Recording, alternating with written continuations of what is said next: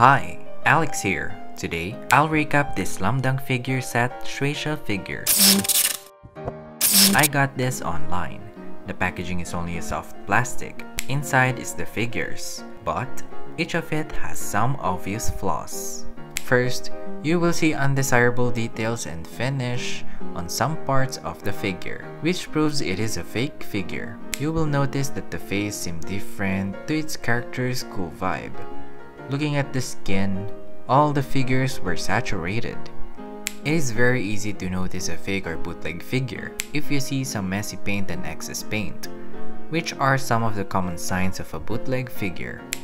Even the smallest detail like this has a messy paint.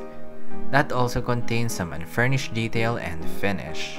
Lastly, the packaging should have some authenticity stickers and a stable protective packaging to protect fragile figures.